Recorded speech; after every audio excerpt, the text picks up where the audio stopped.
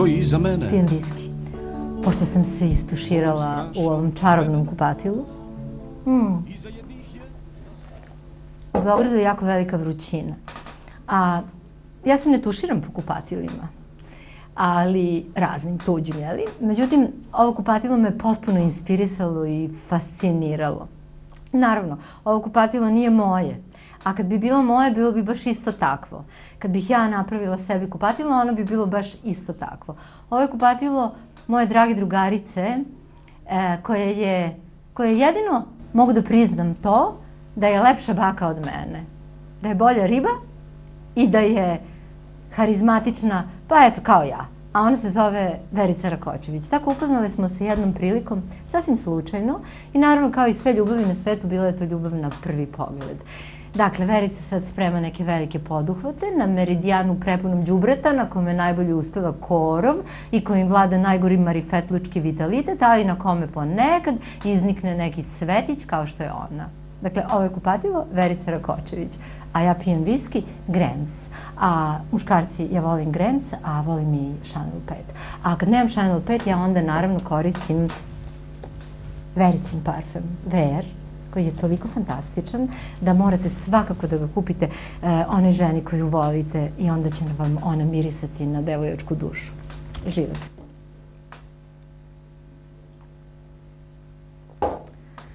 Ah. A, još, još jedan, ajde. Pa. Ajde, onda još jednom. Ajde, tri puta, Bog pomože. E, tri puta, Bog pomože. E, dakle, živim. Još jedan. Nemojte da mislite da ćemo se napiti. Živali, živali. Ne ide to baš tako se nama lako. Ne. Uh, I mi pijemo kad nam se pije. Znaš šta je suština? Radim uvek, juče je bio, radim uvek šta hoću. Juče sam sve što hoću, to mogu. videla ovaj, mog dragog prijatelja, ti ga naravno znaš i ja ću da kažem prijatelja Čitu, koga niste videla o, sto godina. Da? I vidim, pozdravljam neko ispred, ovaj, ispred Vuka, Maše ja onako kurtozno mašem u jednom trenutku shvatim da je on i on me Bog za kako pozdravi i kaže evo, dobila si toliko komplimenta od ovog gospodina ovde, kad bi samo znala koliko gospodin je vlasnik, eh, bog, ne znam, komandant, eh, ne znam kog grada, znam koga neću da kažem. A ja kažem, pa da ti pitam nešto, da li je gospodin komandant svog života? Znaš, tako da... I tu prođeše komandanti i tu, sve, svaka moja šansa odle prša da sudam kao Sandra Nikolić u kanu. Pa teško da, teško da, ovaj, jel želiš da sudaš još? Ne, ne, ne. Ne, ne, ne. A, a, ajde ovako, a, e. Kad sam, znaš, ja razmišljam mnogo o, o onim ljudima sa kojima ću da pričam, a ja pričam sa ljudima o kojima razmišljam, o tome, u tome je poenta. I kad sam razmišljala o tebi, rekla sam da ću ti postaviti jedno pitanje za kraj, ali ajde da počnemo sa tim pitanjem. E, koliko imaš e, neocanjanih snova kad su u pitanju muškarci. Bez obzira da li je to bila veza koja je počela, pa se prekinula, koliko postoji neocanjanih snova? Znaš kako, uf, uf ja da lepo postavila si mi lepo i teško pitanje. Zato što je s jedne strane vrlo jednostavno odgovoriti se na njega, a s druge strane užasno komplikovano. I ja sam sebe pitala. Užasno komplikovano. E, e, ja sam, meni se u jednom trenutku e, činilo da su mi sve ljubavi bile velike. Sve, znači moji muževi, moji muškarci koje sam voljela i koji su mene voljeli. Onda sam shvatila da sam istinski možda onako nisam odsanjala do kraja ovaj, jednu ljubav sa jednim evo Ognjedom, tako se zove isto kod tvoj snimatelj, baš tako. I uh, koja je bila nešto najlepše što ja mislim nekom ženskom biću može da se desi. A s druge strane, sad ti kažem, neocanjeno. S druge strane sam sretna, verujem istinski što uh, taj san nije ocanjen do kraja, završen bi bio. I što se, uh, uh, ne, ža, nije mi žao što sam se probudila i što taj san nije nastavio da se sanja dalje iz prostog razloga što u, u ovim nekim godinama ja to ne potenciram, nego jednostavno realno gledam na život, realno gledam na da, na, na stvari, znam da sve prolazi, hvala Bogu da sve prolazi, hvala Bogu da smo došli do ovde, da imamo i ti i ja unučiće, da. da bome i ovaj, znači, uopšte nisam od onih žena koje žale e, zbog toga što više nemaju 20 godina, ali ne kažu stare babe za džabe da su mi one godine i ova pamet. Znači da sam e, pustila da, da taj san još traje, ko zna, možda bi taj san imao i ružan završetak. Ovako se prekinuo, probudila sam se i, mislim, i ostao je san, da. Tako da... Znači jedan san. Jedan. Da, ja imam tri. Jedan, a ove, i sada kad sam, ti si malo pre rekla nešto u kupatilu i veliku istinu, kao parafrazirala si mene, u stvari to je tvoje, tvoje mišljenje isto. Kaže, nikada nisam ove, imala više godina, više udvarača i nikada mi nisu bili dosadniji. I to je fantastična istina. To je, ja sam sada otišla, posle, ne znam, mnogo, mnogo godina, šest godina sam u onoj vezi i otišla sam sama na more. Otišla sam, izabrala sam najbolji hotel na Siciliji, htjela sam budem sama, dok je moj dragi cvilio da dođe, misleći sam ja sam nekim drugim, drugim dečakom. ovaj, ja sam bila eh, stvarno sama. E, dozvolila sam mu da dođe posljednja dva dana. Naravno, on se vratio za Rim i ja čekam autobus da ovaj, grupa naša mala ode na aerodrom i da se vratimo za Beograd. Pijem kapućino, divan hotel na, na, na samoj obali i vidim dešava se nešto na plaži. Vidim ljudi gledaju mm, preko ove one ograde. Ustanem, naravno, ja pogledam i stvarno kao iz, iz, sa nekog filma, iz bajke, scena, gospodin, kakav meni tebi priliči, a, za razliku od naših ovih radnih izabranika. Ove, znači, negde tip Jeremy Irons, tih godina Jeremy, Irons, Jeremy Irons, bela lanina košulja, tompus, pantalone, bos. Ona je tu negde, pošto si ti mlađa od mene, tvoja ispisnica, recimo. Pa baš sam mnogo mlađa. Pa je bitno, jesi, ovim godinama i dva meseca je mnogo, a ne par godina. Ove, tako da, ona je u nekoj beloj haljini bosa, tu se, tu je ritual venčanja, onda su njihovi prijatelji tu na terasi, on je nosi, donosi na terasu, Kelly donosi bokal vode, on je pere noge, ja ti tu počinjem da plačem. Svatim da bi bilo divno da sam ja na njenom mestu, pa takav mi je to gospodin, ozbiljan treba, pa taj tompus baš tako deluje božanstveno, pa on tako deluje jače od mene, moćniji od mene, pa on bi mogao da mi nežno zagrli i da mi podvikne kad treba uživim se ja u priču i sad tu, i ja, tu on i ja dođemo na moje spavaće sobe, pa izmislim na tu svašta i onda on ode u moje kupatilo da se stušira. Tu ja prestanem da plačem. I shvatim da idealan mesta je u mom kupatilu, tako da ne postoji A zašto? više. Zašto? Zato što ti ne dozvoljavaš da neko ode u tvoje kupatilo? Zato što sam šest, ne šest, više, deset godina, e, ne, pet, dva, sedam godina, Eh, organizovala svoj uh, život da živim ovako kako živim i nikad mi nije bilo lepše. Da, kažu Francuzi, da, Izvoli, izvoli. Pa ima jedna divna francuska e, poslovica, ona na francuskom glasi ovako J'adore ma solitude, to znači ja, ja obožavam svoju, e, to nije samoću, nego ne, intimu, i zapravo ne. način na koji ja živim svoj život, kao i ja. I dakle, ti si meni uzela sve iz usta, time što si, sve ne misao, ne reč, nego sve, odnosno pogled na svet si mi uzela iz usta, zato što si rekla nešto što je u stvari moja priča, jer da bi bajo neki mene sada mogu da prenese preko praga, a možda je to sad nekom smežni, možda će nekad da kaže, ja tebe će baba da prenese preko baba, ali neka dođe kod babe da mu baba pokaže kako se to radi, zato što smo mi sve, ali babe nismo. I hvala Bogu da postoje žene kao nas dve na ovoj planeti e, i da život e, više ne prestaje onda kad se udeš i rodiš prvo dete za nas i za mm. još neki izabrani ali, svet, nažalost samo izabrani. Ono što bi sada mene... Dakle, Izvini samo što kažem, to je ružna bi... reč e, koja nigde nije toliko ne vređa ženu. Baba da, i tetka. Kao, Samo da, u našem da, jeziku. Baba Samo u našem jeziku. To je toliko ružna reč. A ovaj, ja e, poznajem toliko mladih baba i toliko starih ne, Duško devojaka. Radović, Duško Radović je rekao bolje biti nečija baka nego samo baba.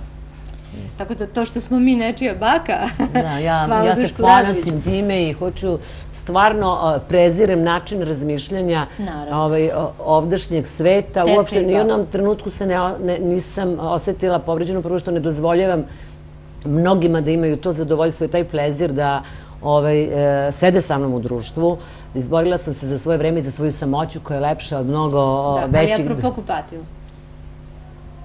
Mogu da budem s nekim ko će da mi ponudi dva kupatila. Njegovo, ali moje u njegovoj kući. I niko više u moju kuću ne može da uđe. Jednostavno, to je to. Ja više na svoju teritoriju ne mogu da primam muškarce. I vidim da ne možeš ni ti na svoju. Ne ima jedna druga stvar. Ti i ja, a, a, ja sam isto tako kao što ti kažeš, ti si mnogo razmišljala o meni i ja sam mnogo razmišljala o tebi i ovaj, nekada, ja ne znam ti, ja se s vremena na vreme zastidim e, svog nekog detinjastog ponašanja u godinama koje to najmanje dozvoljavaju. A onda u drugom već trenutku kažem, pa verovatno je e, to tako razmišljanje i to tako ponašanje i razlog zbog čega sam ovoliko vesela, zbog čega sam pozitivna, zbog čega sebe ne smatram babom u onom smislu u, kom, u, kome, u kome se to tumači. Bazi, to je toliko smešno da ti to meni objašnjavaš. Ne, ne, ne objašnjavam ti, nego ti samo kažem, uh, mislim da je uh, upravo to, upravo ta ta netaktičnost, to netaktiziranje sa životom, sa ljubavnicima, sa prijateljima, sa... Uh, ja, moram ti kažem, taktiziram jedino sa decom. I, i, i, to mislim, i to ne valja. valja. I to, ne znam, ja mislim da ne valja. A ni sa kim drugim ne taktiziram. Ja sam ono što sam. Znači, kod mene, skoro sam čula jednu strašnu priču, jedna mi je novinarka rekla da je jednu moju koleginicu upitala koji ste vi znak. Da. A ona je rekla, ja to ne mogu da vam kažem. A koji si ti znak? ja sam ovan, naravno, 23. marta 48. godine u Podujevu, ujutru, u 8 časova, bajte koliko hoćete, ja uopšte nemam. A pričaj mi u Podujevu. Da. Pa ne mogu da ti pričam o podiju. Ali mi reci da li je istina da si imala kozu. A nije, nije, nije istina. a što si to izmislila? A, opet, sad ću ti reći, izmislila sam zbog opet nekih ljudi e, koji važe za urbane ikone, a kojima se uopšte ne zna ni, ni datum rođenja, ni godina rođenja, ni mesto rođenja. Ja sam pisala zbog tebe, pa članak, koze i ljudi a, pa znam, čitala sam.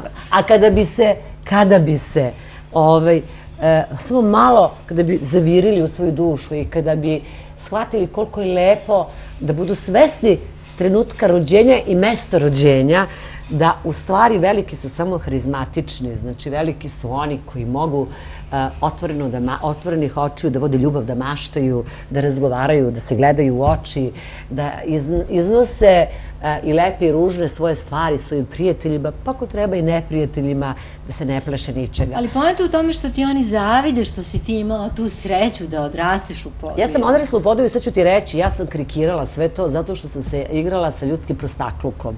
Jer, ove, sa nuvoriš ljudima. Pa nisu to samo, nešto morate razočarati.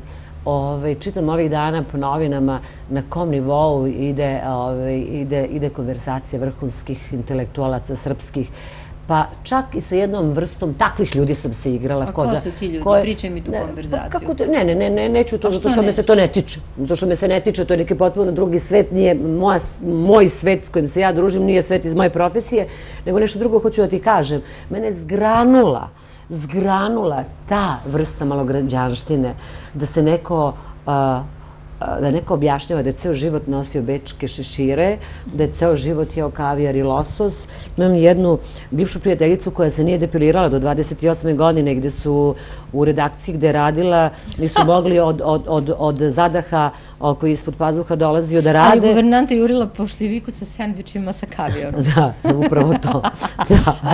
Da, da, upravo to. Tako da, to, to me je nateralo, tako da je moj brat u jednom trenutku poludo i pozvao me telefonom i rekao, slušaj, ne prestaneš li da izmišljaš uh, ovakve gluposti o nama, kozi i ostalo, ja ću, te, ja ću te prebiti. E, onda je bila emisija na, na, ove, ovaj, na politici, onda je moja sestra došla i donala mi brdo slika. Ja u sakovi, i prisirani suknici sa lakovanim cipelicama. I onda donosi mog dedu, naravno, Svetozara, koji u Ženevi umro, sa štapom gde ima dršku od abonosa. I ovaj, donosi sad jednu sliku jedne divne gospođe sa ovako negdje 20. godine sa nekom žanstvenom kapom, šeširom. Kaže, ko je vam baba? Kaže, stoko, baba ti je to baba ti je stoko, pošto si izmislila da ti je baba išla sa kosom po njivi, zabrađena seljanka. Ali ti si to iz revolte uradila. Pa ja pa sam dobro, to ja sam baš volila što je to tako i baš sam, baš sam ti zavidela na tvoj babi s. I za I na. A onda to poslije ću ti pokazati, damo je spavaći sobi, ima jedna divna slika, Ove, to je vrda jedina slika moje majke sa maramom. Ja sam namerno tu sliku gde moj tato vojsi, mama ima maramo, ja u nekom pletanom džemperu, ovako stojim sa njima, evo ta slika stoji tu uremljena i u svim novinama je ta slika kada je moja biografija. I ako se ikada bude pisala, ona će biti na prvoj strani. Tako da kad sam jedan na TV politika, Tanja Stevanović je radila, odnala tu sliku, onda je Tanja pitala kamermana, ljudi, znate ko je ovo? A kamerman je rekao, mislim da je to niko. Tako da, ovaj, ja sam sretna što je moja biografija takva i ja sam e, sretna što nijedan trenutak mog života nije virtualan, nije izmišljen, nijedna pohvala, nijedna gledam ljude koji tako besramno lažu koji tako besramno iz moje profesije lažu. Jer ne znam, kad ostanu sami sa sobom, kako ih nije sramota kad pročitaju o sebi ono u novinama što piše? Pa nije, oni u to e, veruju. Ja sam sedela ovako kod gradonačelnika Rima pred dve, tri godine i e, sve to što, kad smo se pozdravili, što on izgovarao, mene je uvijek bilo sramota da, da posle ispričam, jer mi je smešno. Dobro, kaži mi tri modna kreatora kod nas. Meni se dopada... Ajde, ajde, kaži iskreno. Ne, iskreno, najiskrenije ti govorim. Najiskrenije ti govorim. Meni se dopada i sestri Proković. Meni se dopadao nekada strašno, sad više ne radi, žao mi Jaca Joksimović. I Daniela Bišup koja radi božanstvene cipele, božanstvene cipele. E, dopada mi se, ja ljubit ću se, ne mogu da se setim, mm, nije bitno, devojka koja radi šešire, potpuno sam blokirana, ne mogu da se setim, setit ću se. I znaš šta, za mene je, evo ja posle 25 godina rada, za mene je e, privilegije kad možeš da se baviš svojim poslom, da uživaš i da se igraš. Da, a što se tiče muškaraca, baš niko ne postoji, jel da? Što se tiče muške, meni ovde niko. Da, baš interesantno, jer jedino što su naši muški modni kreatori uzeli sa zapada, to je što se ponašaju kao pederi. Da li su zaista pederi ili se tako pa, ponašaju, ne znam, ali valjda misle ako si peder moraš biti kreator. Valjda. Ja, sma, ne, ja, ja govorim, ovo što sam ja sad rekla ne mora da znači da, da to što sam ja rekla vredi. To je neki moj stav. Za mene je ovaj, moda igranje. I ja, da nije tako, je vjerovatno, ko znaš kolike robne kuće već do sada imala, ja se ne ustručavam da stavim 5, 6, 10, 15 metara materijala koji ne znam koliko košta, koji se nikad neće prodati, ali ja skakućem po svom ateljevu, uživam dok se to pravi i smatram da je najveći bezobrazluk e, uzeti parče kineske robe, staviti svoj pečat na njega ili otići u Ikea, uzeti parče iz Ikea i onda ovaj, samo ga svoju pločicu staviti na to. Mislim da je to sramota i mislim da nije u redu od ljudi koji e, forsiraju takav način rada, e, ponižavaju nas, prave od nas budale i e, misle da i nismo bolje zaslužili. Ipak je kreativnost nešto što podrazumeva maštu, što podrazumeva e, jedan, jedan, jedan, jedan veliki umetnički dar, umetničku slobodu i, i mislim da ovaj narod zaslužuje da ga manje lažu. Dakle, uh, možda vide, ali ne mora da znači.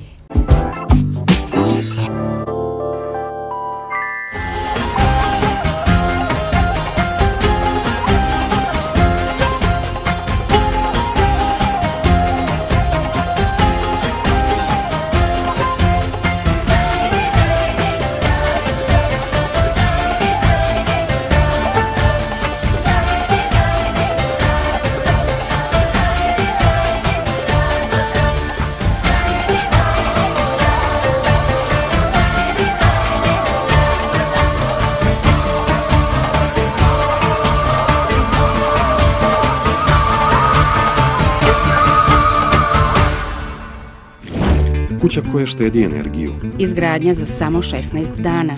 100 godina garancije. Niskoenergetski objekti Loglen. Uštedi gradeći, zaradi stanujući. Do Beča, Može. do Zlatibora, Može. a na Crnogorsko primorje Može i to. I to svakog dana. putujmo sa Phoenix Toursom. Udobno, Bezbedno prijatno. i svakodnevno. Phoenix Tours za vas. 444 622. Zeitgeist. Mogu nešto intimno te pitam? Ti možeš sve. Ali jedno ne. Kako je ona pesma? Ti možeš sve, ali jedno ne. Ne. Ko je Verica Rakočević e, iza scene? Pa Ko je moja drugarica Verica? Verovala ili ne, ti znaš da je to moja velika mana, što ja uopšte nemam tu uh, ne delim, ne delim svoje ponašanje, svoj, svoj život za, na, na, Na jednu i drugu na Vericu. jednu i na drugu E, Vericu. ti. ja ne mogu, ja, ne, Hvala ja ti, to draga, ne mogu. sad ću da. ti kažem da mi je sad lakše. Evo zašto. Ja Svi su voljeli uvijek u životu mene, ali Jelenu Tinsku ne. Jer svi kažu, ja volim tebe, ali ne Jelenu Tinsku. A to kažu pederi koji nemaju muda da se nosi sa ženom koja vredi.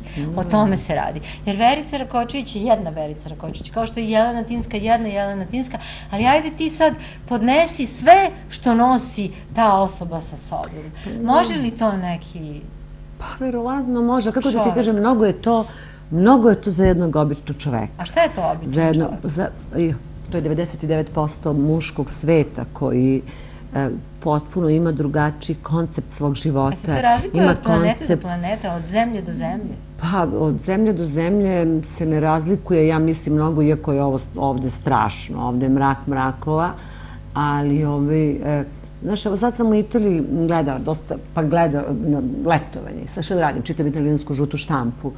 Nijedna baja koji iole nešto vredi preko 45 godina e, nije, Slobodno. ima, ne, nije imao devojku stariju od 23 godine.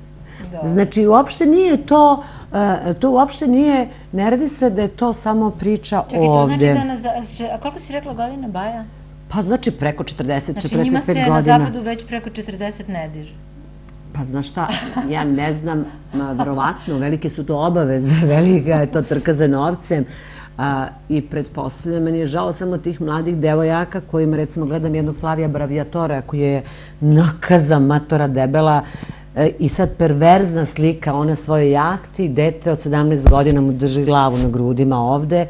A nije I- mu dete. A naravno da mu nije dete i izgleda da je to ovaj, e, manje više svuda na zemaljskoj kugli. da, ne, svuda na zemaljskoj kugli i najverovatnije vidiš sama šta se dešava sa Demi Moore i Ashtonom Kutcherom. Znači, jedan Hollywood koji je perverzan do bola, e, gde biti, biti homoseksualac nije ništa, gde šmrkati svakodnevno nije ništa. Moore? Ja. Jedna potpuno e, novine da čitaš samo iz, Amerike, baba maznula dete, ne znam, i tako dalje. A to je to sa Demi Moore. Da, hoću da Pa ti kažem, svuda je to tako, manje ili ovde je najprimitivnije zato što je ovde... O, o, Ne, ovdje je normalno da neki mator čovjek bude s klinkom, ali nije normalno da žena naših godina bude sa I mlađim tamo je, muškarcem. i tamo isto. I tamo isto. I tamo a ja isto. opet imam tu svoju teoriju i Oca Marić, ja se ceo život bijem u čija je to teorija, a ja ovom prilikom, pošto je vi Oca Marić rođen u Bijeljini, moram vama Bijeljinci da kažem da je to moja teorija, da on meni pokušava stalno da mi ukrade. Evo šta on kaže. Uh, on kaže, a ja kažem, a ja sam to kazala, to je moja teorija, da je mnogo logičnije da starija žena bude sa mlađim muškarcem, e, nego da, mlađi, da stari muškarac bude sa mlađom ženom. A zbog čega? Zato što, ako je muškarac stariji, a devojka mlađa, ona dakle čak ni nema saznanja o tome da on u stvari ne može. A ako je žena starija, a muškarac mlađi, onda ona zna, a on može. I onda je biološki to logičnije. Međutim, biološki se ne podrazumeva. Podrazumeva se to da čovjek koji nađe lovu, zapostavi svoju ženu i decu i kara klinke. E, Znaš šta, ja sam imala skoro, pre par meseci, jednu situaciju gde mi se ovaj, udvaro da mlad momak Koliko ima mlađi od 30, ima, pa recimo ako ja imam 57, a on je 33-4, valjda, lago je Više čak da ima od 20. 35, da, i koji je stalno, mi smo onda, ja, ja da bismo ostali prijatelji, jer je divan dečko, ja sam onda stalno objašnjavala i tako dalje, i tako dalje. I ovaj, u jednom trenutku kaže, ja, pa zašto ti nisi, ne znam, toliko i toliko mlađa, ne zbog mene, nego zbog ljudi, ali mene baš briga. Ja kažem, dobro, i šta bi sad ti rekao svojim prijateljima? Sad trebaš da im predstaviš e, Mene. mene i kažeš, pa ja hoću da vam predstavim svoju devojku. Nije li to komično? Nije li to, ne, perverzno, nije li to, i sad pazi, meni je to stvarno perverzno i meni je e, to onako, jer ne mogu, ne mogu čak ni da ti nađem adekvatan izraz za to, on je u jednom trenutku samo sago glavu dole i začutao. Ove, e, interesuje me zašto ta vrsta srama ne postoji kod muškaraca, eto to me sad interesuje. Evo zašto, ja ću ti kažem. Zato što je kod muškaraca velika, e, velika, velika i mnogo žešća bitka između Erosa i Tanatosa nego kod žena. Mi se negde mirimo sa time da šta znam, vreme prolazi zato što je ovo nakaradni svet i ovo je muški svet. U ovom muškom svetu kad muškarac izgubi kosu, mm, vidiš, on je sad postao zanimljiv. Kada pusti Kad stomak, on mu posedi, dobro ne. stoji, kad posedi što je postao baja, a kad žena posedi, ona je bebetina. Kada, ne Ma znam, nije, ba- nije kad posedi, ja znam, imam e, prijatelje moje. Pa neće da prime na posao klincima- žene koje su prešle Ja recimo, 40. ja kažem njemu, ali slušaj, ti si sa tom e, ženom samo zato što ona ima 25 godina i što će tvoje džukile da ti kažu, ali si baja, ima žensko 25 godina. A ako banalizujemo stvari, jer da ih ogolimo do, baš do banalnosti, do kraja, pa ja se nikada u životu ne bi dozvolila sebi da imam recimo tako nenegovanu kožu kao ta tvoja devojka, tako nenegovane zube, tako nenegovanu kosu, a ne o nenegovanom mozgu i da ne pričam. Znaš, ja više, mene više takve stvari uopšte ne dodiruju. Ja trenutno već šest godina živim sa muškarcem koji je koliko? 13 godina mlađi od mene, 13 godina, da. I mi fantastično funkcionišemo. Je li on Jugosloven? Ne, italijan. I da nismo, da nisam ja, naravno, na sva zvona italijanskim novinama objasnila koliko ja imam godina i tako dalje, ove, niko njegovih prijatelja to ovaj, ni pomislio, ne bi to ni da. pomislio, da.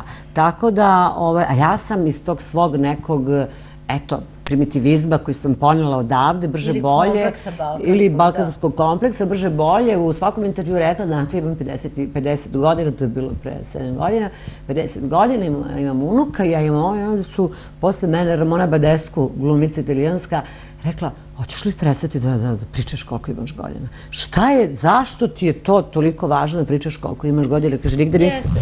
Ali međutim, ja E, sam... postoji jedna, jedna lepa priča koju ću ja ti ispričam. E, postoji na Tibetu jedno teme, e, pleme, oni se zovu Bahajci.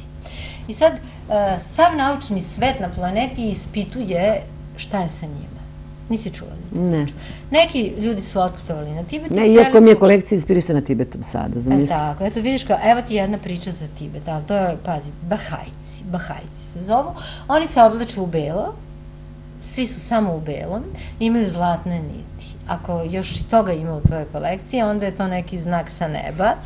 E, kad su- Mnogo zlatnih niti. Jel ima?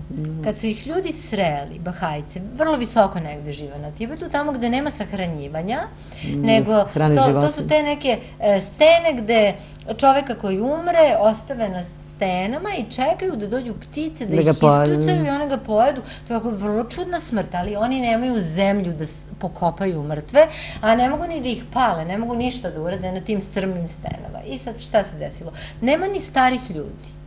Bahajci svi imaju negde oko 40 godina, a e, najstariji imaju 40 godina, a ostali su ili deca koji imaju 13, adolescenti i tako dalje, ili bebe.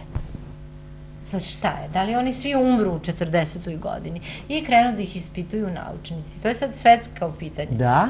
i ustanove sledeću stvar. Da Bahajci ne znaju šta je jutro i veče i šta je dan i noć i šta je dan i mesec i godina, da oni ne znaju koliko je sati i da oni dakle ne mere vreme i oni ne znaju koliko imaju godina. Godina. A znati koliko imaš godina je pristajanje na proces starenja. Kad sam ja rodila moje prvo dete, imala sam 19 i po godina, moj tata je rekao, jel sad više nećeš da nosiš mini suknju? Znači sad ćeš da obučeš engleski kostim, Da. jer ti si sada majka. Drugim rečima, tebi kažu, ah, ti sad imaš 30 godina, ti više ne možeš kao, ili imaš 40, pa nije u redu, a tebi tvoja deca kažu, jao, mama, pa kako ti smeš da se na Svetom Stefanu kupaš e, u toplesu i da izgledaš kao riba ne, kada si ti baka? Rekla mi je, ma, ma, meni su moja deca rekla, a ja sam, ja sam stvarno, moj problem je to, sad polako prestaje da bude, ovaj, što ja e, ne mogu nikako svoje godine da, da uskladim sa svojom energijom. I ja sam na Svetom Stefanu, najlakše me da upletem dve kike, stavim ranac na leđa i onda mi je moja najstarija čerka rekla, jo, mama, kako si me izbrukala, tako bi je bilo sramota od tebe. A ja kažem, a zašto ti je bilo sramota od mene? Šta sam uradila? To strašno. Kaže, kao luda si se pojavila na Svetom Stefanu s upletenim kikicama, s rancem na leđima i u dugačkoj beloj haljini. Znaš, onda se ja zamislim, ako meni to moje dete kaže, i ako moje dete tako gleda, kako li taj drugi svet gleda? I onda mi postane strašno tužno, jer ja bih želela još toliko puta da... Nosiš kikice da, da nosim imaš kikice, ja bih htjela sada i da vozim motor. A znam da bi svi rekli da sam, da sam luda. A I ja se, to svi? I ja se ne... Pa eto, Pa. jer polazim od svoje dece. Meni su svi deca. Meni su čudna tvoja deca. Me- ne, Evo meni su svi deca. Evo, ovako, draga deco Verica Rakočić, blago vama što imate ovakvu mamu. Blago vama, šta bi dala sva deca na svetu da imaju takvu mamu? E, ja sam bila tako nesrećna kad sam bila da se moja mama predala, da je moja mama počela da stari, da njene ruke venu, da ona više nije mlada. Ja sam bila tužna, a moj unuk, koji nije deca Verica Rakočević, je meni rekao, kad sam ga pitala, Fedore, zašto ti mene zoveš Jelena kad sam ja tvoja baka, se udaljio od mene, skrozirao me od glave do pete i rekao mi, zezaš se, a? E, Dakle, A tako je- moja, Ve- moj unuk mene unuci će zove da ti po... baba. Zato što on kad mene zove Verice, Matija kad mi kaže Verice, Elena kaže, ona je tvoja baba. Aha, I on te zove baba. Baba.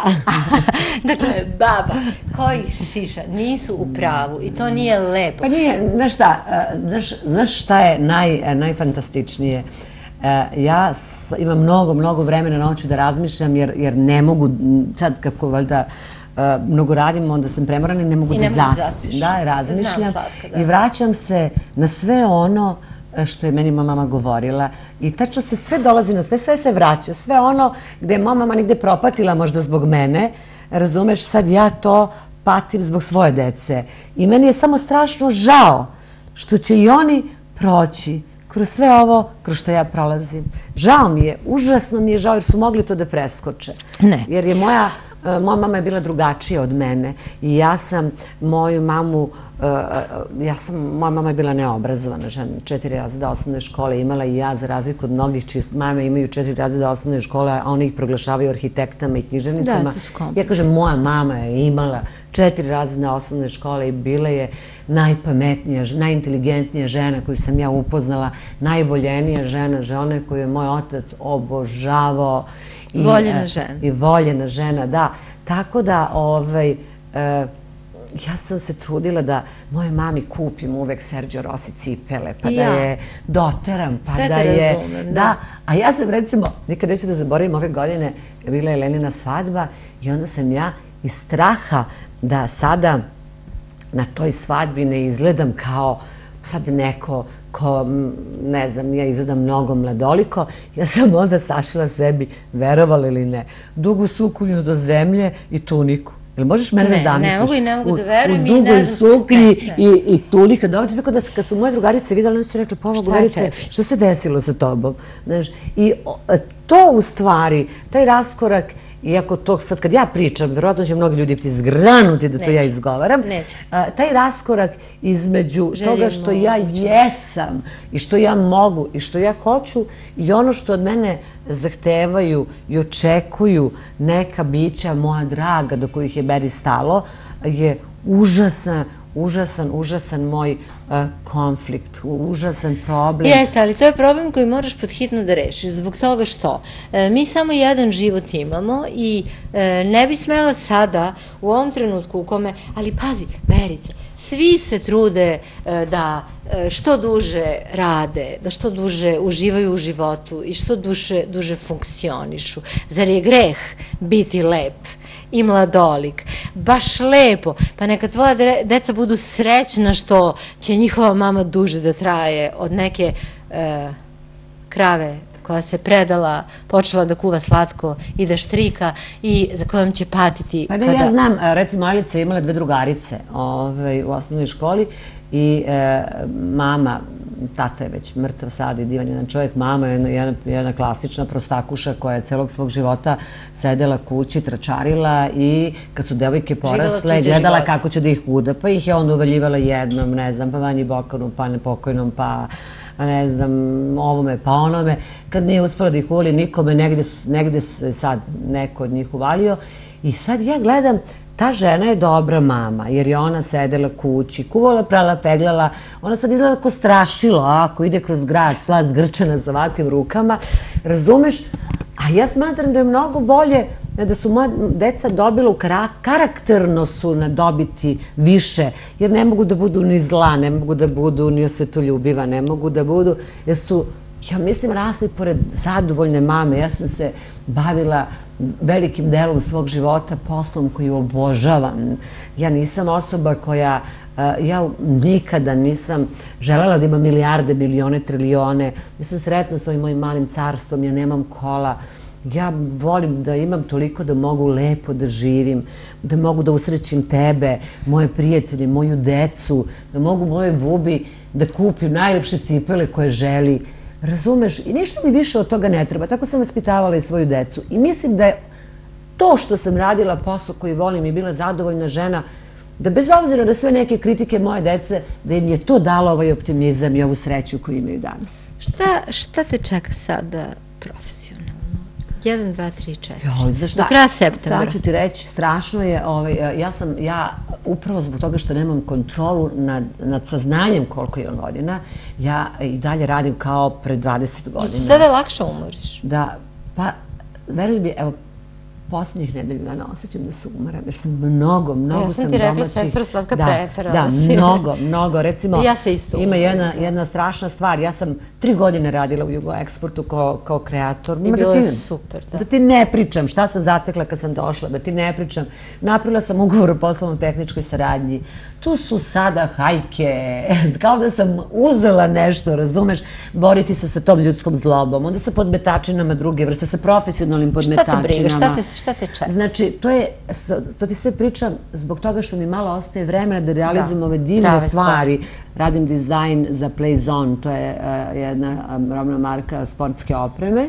Znači, za njih dizajniram i sad postoji uh, jedna, ti znaš da je Mira Blarikon u Los Angelesu, uh, moja draga prijateljica Željka Bakarić koja je u Atlanti, ona je sada otišla za Kanadu i ona sad radim tamo nešto, tako da ja pokušavam. Hoću da ti kažem da pokušavam, znači da prodrem na ta neka tržišta e, koja bi bila interesantna u tom smislu da možeš jedan artikl, s jednim artiklom da obezbediš sebi da mirno spavaš. Eto, to je to uh, što planiram. Planiram da uh, izrenoviram taj prostor u Novom Sadu. Imam u Novom Sadu divnu prodavnicu koja, U nažalost, izgleda ta, u Zmajovidu, koja izgleda da. tako kako izgleda. Ja bih htjela se s novom kolekcijom da je renoviram, ako dobijem saglasnost, naravno, i da ovaj, krenem polako da ozbiljno radim ovaj posao i da se moja maštanja e, e, i, i, i umetnička sanjanja ovaj, odvijaju samo kada radim modne revije, a da sve ovo drugo bude biznis. Da, kad se vratiš iz Pariza, donećeš materijal i vidjet ćemo se u velikoj emisiji Zeitgeist, koja se također vidi na satelitu. Hvala. Mnogo, mnogo, mnogo ti hvala što si nas primila u svoju kuću. Ne mene, nego nas, što si otvorila ovaj svoj čarobni dom, e, auditorijumu i što si mi dozvolila da se okupam u tom čarobnom kupatilu. E, Ti si, ti si uvijek dobrodošla, a ja samo hoću da ti kažem da, um, mislim, to si ti doživljavala sigurno, uh, najlepše što čovjek može da doživi, a to je, recimo, pre par dana ja i moje prijateljice smo išli ulicom i uh, uveče gledali smo kroz prozor neki jazz klub je bio i onda je istrčala jedna devojčica od 17-18 godina rekla oh, ja vas obožavam, jel smem da vas poljubim? Tako da, to je ono kao kad kuće, kaže, ako vas kuća oliže, znači da ste dobar čovjek. Ako vas dete tako slatko zagrli, znači da je vredala. Da, onda sam ja jako dobar čovek zato što mojih osam pasa ne prestaje da me olizuje. Mnogo ti hvala. Hvala tebi, draga.